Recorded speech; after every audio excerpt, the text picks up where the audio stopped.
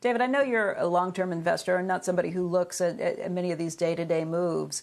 But yesterday was pretty weird, especially when you looked at cryptocurrency, a decline of 46% for Ethereum. I mean, you feel moves like that and you wonder how much froth has built up in the markets. Um, you wonder how much momentum has been driving things. And what, what, what, what would you take away?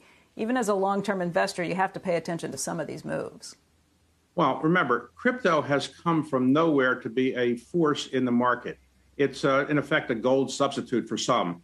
And I have uh, invested in not cryptocurrencies myself, but in things that uh, I would say facilitate the trading of it in various companies that are helping to um, uh, trade or make it easier for people to be involved with cryptocurrency. And I did that in part because I think it's here to stay. Cryptocurrency is not going away, uh, just like gold is not going away. So, yes, it had its ups and downs, and yesterday was not a good day for it.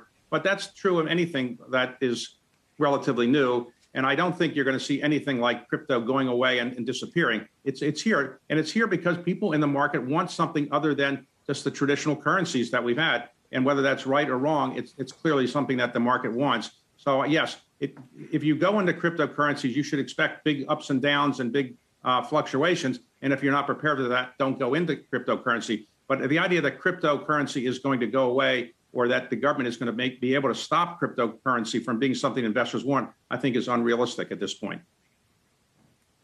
Well, e- even if you're looking at some of those trading apparatuses for it, Coinbase, I think, is down 40% from its initial public offering at the middle of last month. I mean, that's pretty volatile too. I'm, I'm not sure if Coinbase is the one that you were investing in that you were talking about, ah, but that volatility plays out all the way across.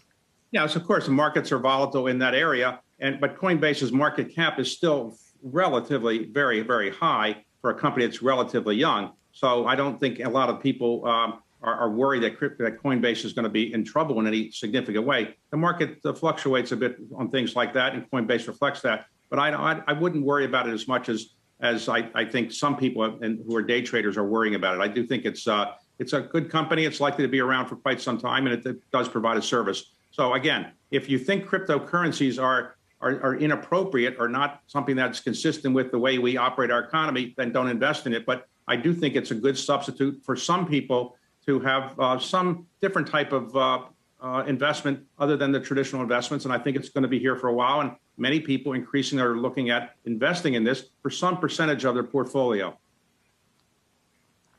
Is Coinbase the one you invested in, or did you invest no. in different ones?